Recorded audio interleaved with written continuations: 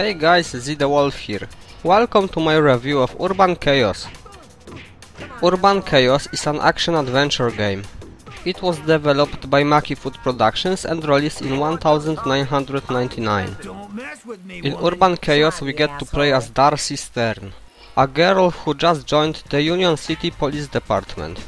I don't want to spoil the story of the game, but let me tell you the story is quite decent. It focuses on dealing with the gang called Wildcats, but there's a deeper meaning behind that. Shit, Stern, you found my car! Thank God for rookies! Hey, I've left you a small gift around the corner. The game is about fulfilling missions.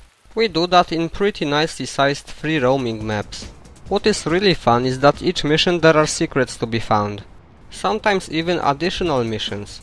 The maps are just the size they should be and it feels really nice to explore them. The game has console-like controls and it can be annoying to some people. For one, we can't use mouse in this game. But overall controlling the character is quite simple, it just uses few keys. How the camera works could have been done better. Sometimes it can really get on players' nerves. Combat, though slightly bugged, is still enjoyable. We can punch or kick our enemies. What is the most important while fighting is timing. For example, to make a free hit combo we can't just mash the buttons, we have to press them at the right time. When our opponent is on the ground we can arrest them. There are few melee weapons we can use, for example a baseball bat or a knife. The game offers few firearms as well, but we have to deal with auto-targeting system, and I doubt many PC gamers like that. I should mention that when we die we have to replay the whole mission. I'm sure some people will be unhappy about that. Come in, Officer Stern. We got reports of a disturbance over at the diner. Get on it, ASAP. At few points in Urban Chaos we will get to drive a car.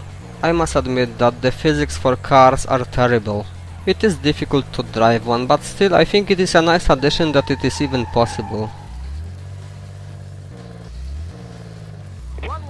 As you can see, the graphics are quite outdated. Models are poor and the resolution of textures is really low. But what did you expect from a game made in 1999?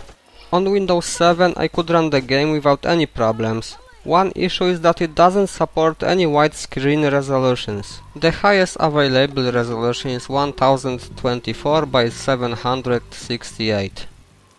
As for the soundtrack, it's not really enjoyable, but at the same time it fits well into the atmosphere of the game.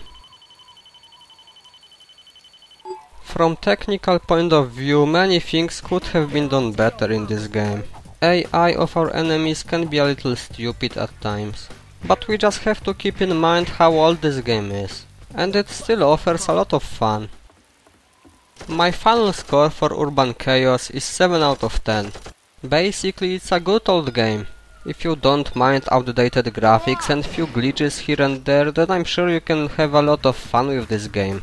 Especially that Urban Chaos doesn't cost a whole lot anymore, it's quite cheap.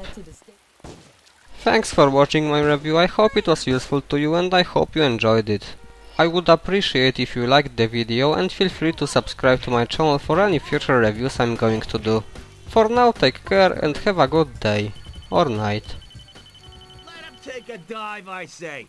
What a maroon! Hey, buddy! You can fly! Why don't you come on down? I heard that, asshole! He must have a good view.